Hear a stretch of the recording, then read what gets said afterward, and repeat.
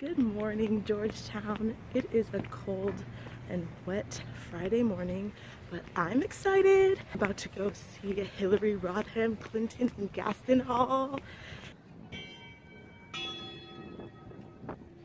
So she is going to be awarding four other exemplary individuals for their contribution to the Colombia Peace Agreement, and I just get to sit in the front row and watch it all.